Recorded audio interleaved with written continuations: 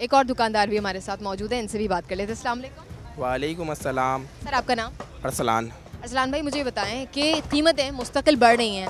आप मुझे दो कीमतें बता दीजिए पहले तौर पर एक तो ज़िंदा मुर्गी और दूसरा तैयार मुर्गी। ज़िंदा मुर्गी पाँच सौ रुपये और गोश्त जो है साढ़े सात सौ रुपये जितना भी काम था दुकानदार तो पिस गया। क्योंकि अब दुकानें बंद करने के सिवा और कोई चारा नहीं है। गोश्त सस्ता है गोश्त महँगा है और मुर्गी सस्ती है। ओह सॉरी मुर्गी जो है महँगी है गोश्त सस्ता है। जितना भी काम है सब गोश्त में कन्वर्ट हो गया है।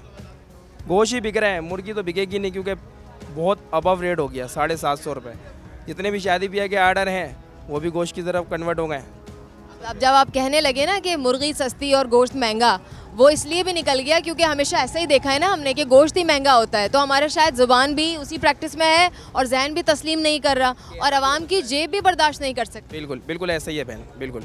अच्छा आपने कहा कि दुकानदार पिस रहा है। अब दुकानदार की अगर आपने बात कर ही दी है और आप चूँकि दुकानदार हैं तो आप उनको मुझसे बात करते हुए तो रिप्रेजेंट कर ही रहे हैं। हर दुकान पर अलग कीमत क्यों है चिकन?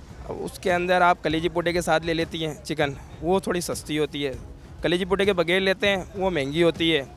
अब ऐसे गर्दन हटवा लेते हैं, वो थोड़ी और महँगी हो जाती है। इसके अंदर आप सीना लेंगे, जो ज़्यादातर बिकता है, सीना तो बहुत ही महँगा क्योंकि रान नहीं बिकती।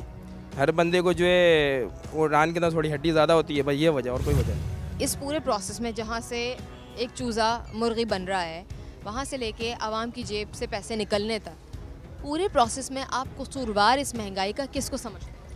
टोटल जो हमारे फार्मर भाई हैं वो लेकिन फार्मर भाई भी क्या करेंगे जब उनको फ़ीड ही महँगी मिलेगी?